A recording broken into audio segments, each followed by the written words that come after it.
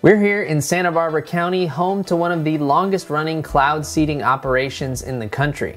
We've got some ground-based cloud seeding equipment right here and we're gonna get to hear all about how it works and see it in action. Let's check it out. Cloud seeding is the most common type of weather modification and it has many different techniques and applications. Today, it's mostly used to increase rain and snowfall, reduce the size of hail, and reduce fog at airports.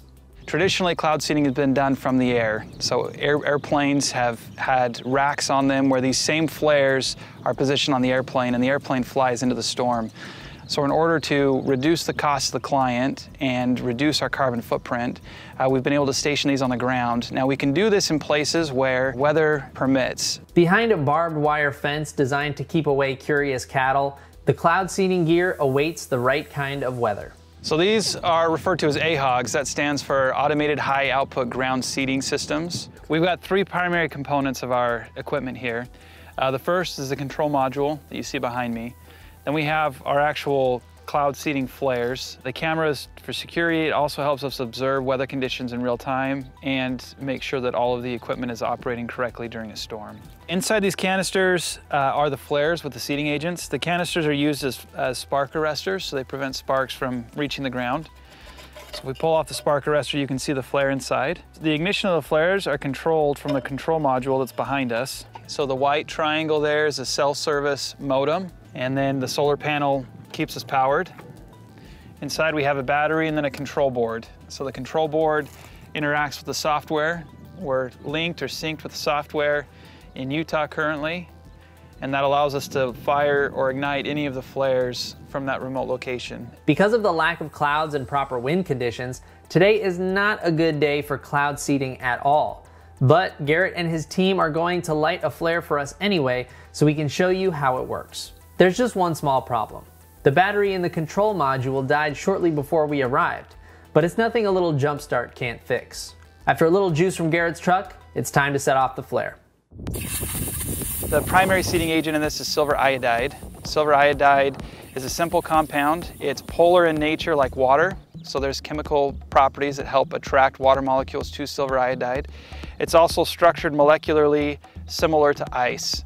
So it helps generate or helps spawn the generation of ice buildup and then that becomes a hailstone or a snowflake that falls here primarily as rain. So one flare like this has billions and billions of potential sites for that water to congregate around. We'll launch them in sequences. We watch the radar to see when bands of the highest concentration of liquid water are passing above us in the clouds, and we try to target those high concentration pockets in the storm systems. Uh, we'll launch between 3 and 20 flares for a typical storm. Once the flare is lit, it takes a little bit of time to carry up into the clouds, and once it's up at, at the proper elevation, it'll take about 20 minutes to instigate the rain or the snow process.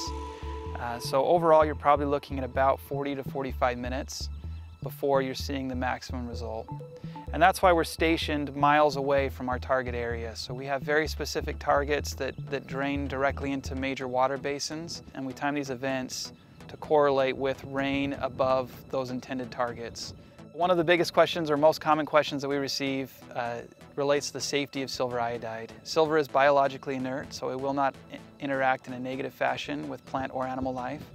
Iodine is actually a critical building block of a number of hormones in animals, so it is safe as well. In fact, if you look at table salt or baby formula, you'll see iodine in its molecular form as an additive in those commonly consumed substances. But what about other potential adverse effects? Could cloud seeding affect communities outside the targeted areas? Sometimes there is a concern about robbing Peter to pay Paul. So are we benefiting California at the expense of Nevada? And the truth is, is that storm systems, when they move over off the coastline, only about 10% of that moisture is going to fall in the form of precip. And we're looking at increasing that to about 11% because we have about a 10% increase in the natural storm's productivity. So going from 10% to 11% in California has an insignificant impact on the amount of precip that will still be available in Nevada or Utah. Built into the program are kind of checks to make sure that we don't come across anything negative.